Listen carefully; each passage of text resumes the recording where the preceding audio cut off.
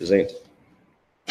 Ah, so um, uh, what what I've primarily focused on at LBLNet. So a little bit of context. Um, uh, uh, LBLNet is the uh, group within the IT division at LBL, where you are now, um, that uh, operates the the LAN um, for this campus and for the Joint Genome Institute out in Walnut Creek, and also a few offices out in Emeryville. So it's a typical enterprise um, uh, network environment. Uh, well, not not necessarily typical if you consider all enterprise networks, but for a, a research lab, um, it's typical. And um, and so I've been doing SDN things for for a few years, but um, uh, coming in in uh, to this environment, I've wanted to focus on sort of this narrow deployment scenario. So um, I've taken GIMP and a clone tool, and I've removed the vendor logos from from the hardware. And so imagine, ooh, no, don't do that.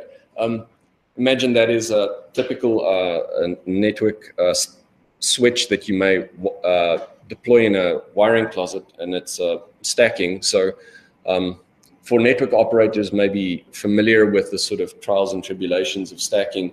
Uh, what that is is typically four switches with four CPUs running four copies of the control plane, but three of them are kind of stupid. Three of them are just acting as slaves and accepting uh, uh, control plane configuration. Um, and there's some Ethernet cables in the front. In the bad old days, it used to be some proprietary connector. Now, thankfully, it's Ethernet. Um, and so the faucet equivalent is is not all that different, right? It's a separate server, but it's still a bunch of switches that run something that's kind of stupid. We just call it the, the OpenFlow agent. So what I've been thinking about is how can we realistically deploy this? Um, and, and this kind of comes back to my question to Andrew, which, which was, I'm thinking about that gap because if we can close that gap, we can actually get to deploy the stuff in production.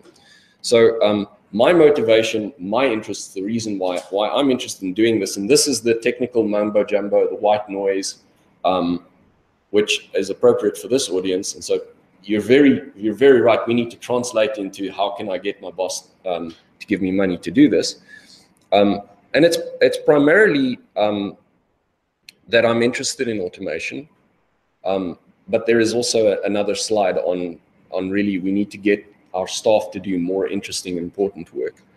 Um, we have a multi-vendor network here. Um, it has been great for getting good pricing out of vendors. It's been terrible for managing the network. Um, and uh, I, I would, I'm also particularly interested in consistent, a consistent uh, forwarding plane behavior, right? So we can define um, models that can be used for configuring equipment from different vendors but if their interpretation of the behavior differs between vendors, those models are meaningless. Um, so we see this uh, tip very typically in layer two security features that are not defi well defined within RFCs or, or IEEE standards. So let's take the snooping feature, uh, um, layer two snooping feature for um, looking at something like DHCP. Different vendors will implement that differently. Um, and, and I think there's some other new capabilities we could have in the network if we actually deploy that. So um, I've had a, a, bit of a path, and it was via New Zealand for about three weeks, and um, it's very interesting that that uh, SDN is a thing there. Um, and uh, these are slides from from a presentation that I gave um, uh, two days ago. Um, so you'll see FaucetCon starts tomorrow, um, but uh, I've also done it the wrong way um, in, in 2016 playing with Faucet and and uh, and so I've gotten some interesting sort of layer eight, layer nine insights. Um, so these are some photographs of you know previous sort of hardware deployments and, and get-togethers. One of them is in New Zealand, um, and uh, we find that typically we um, you know, the, the problem, the business problem that, that we need to solve is that we just don't have enough engineering bandwidth. We, we end up spending money um, because of the federal budget cycle, um, buying hardware uh, before it is strictly speaking needed. And so we usually have more hardware than we have people to deploy that hardware and configure the hardware. So getting more efficient at actually deploying, configuring hardware and managing hardware is, is, um, is something that could actually make my team more effective. Um, and so in addition to the first slide, the technical mumbo jumbo, I'm also interested in, in removing the drudgery um, from, from network engineering. Um, but one thing that I don't think any single operator can realistically do unless they are Google um, is, is, to, is to build this, to, to build the operating system for, for the SDN network. Um, so thinking about change management, and this, this comes back to the gap, um, is that doing something before you're ready um, to do the big thing is is key to to be able to make some sort of progress. I'm not going to get deep into that. Um, so what we've done is is identify Faucet as something that has promise. Um, look at some of the gaps. What are the things that we would require in that wiring closet in order to realistically use Faucet? Um, build out some dev test systems and then begin using it. And, and this is really early days. It's taken far longer than I've expected. Um, and then also come to the plug Plugfest and have a look at the hardware. Have a look at what the maturity of the hardware is. Try and configure the hardware. Find all the traps, because there are traps, um, things that don't behave the way that we expect. To get a view of at what point in the future would we be able to say, it is now safe for us to say that we're going to deploy Faucet and we're definitely not going to build, deploy a, a traditional network.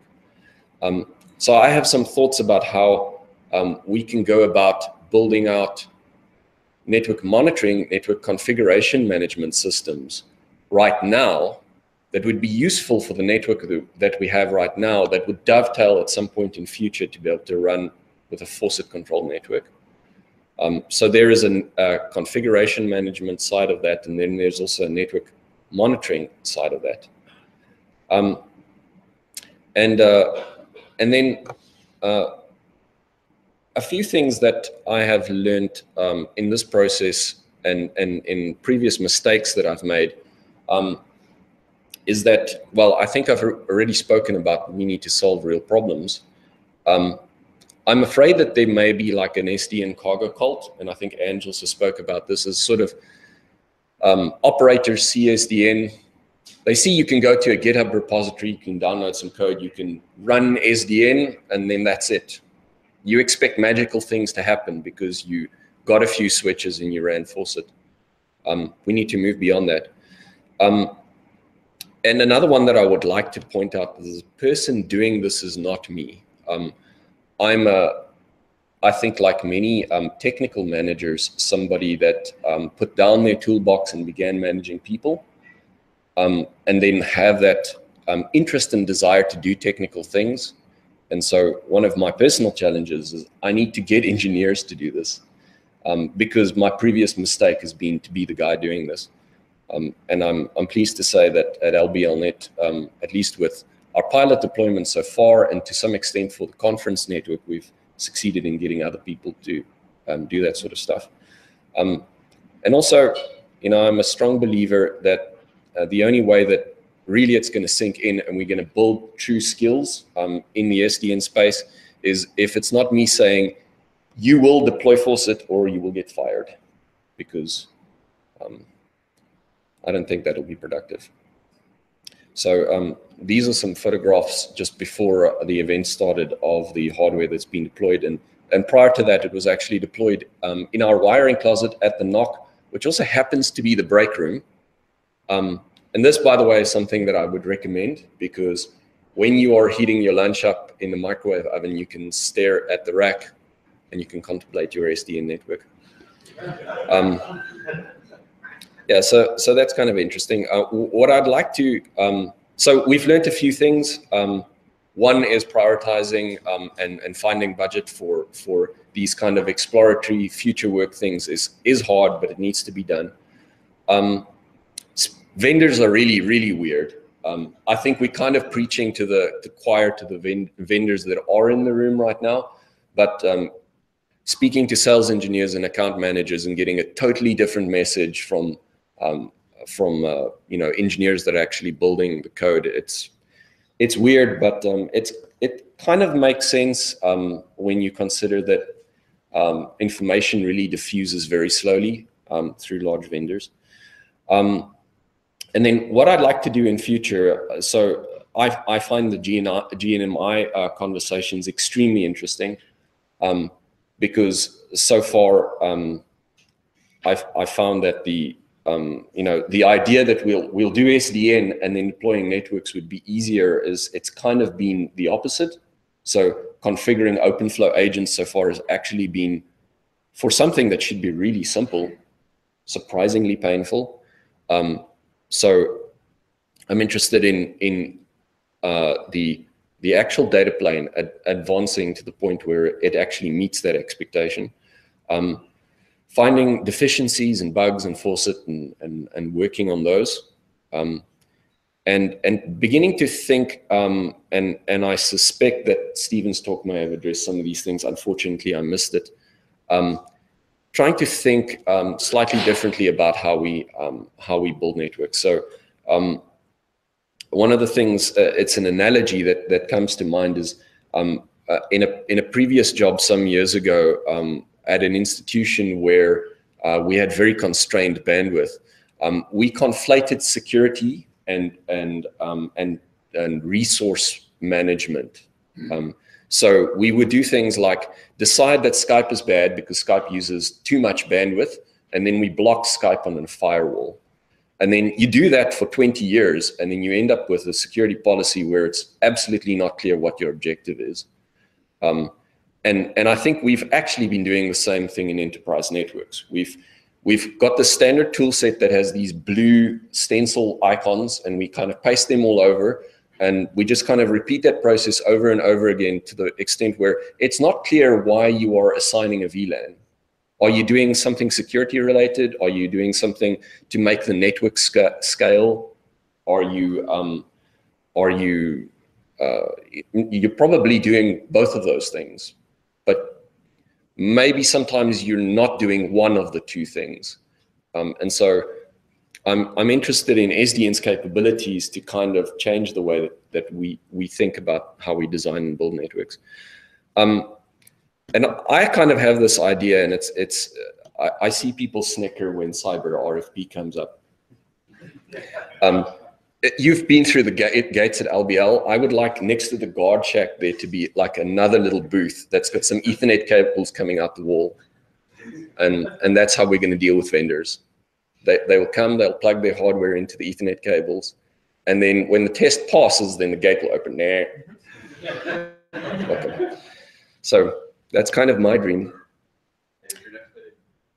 Um, and and and really, uh, the the idea that um, that we could uh, address security uh, concerns or introduce new features into the network um, in uh, sort of a continuous integration, continuous development style is also very interesting to me. So those are the things I'd like to do, um, and that's that's the talk.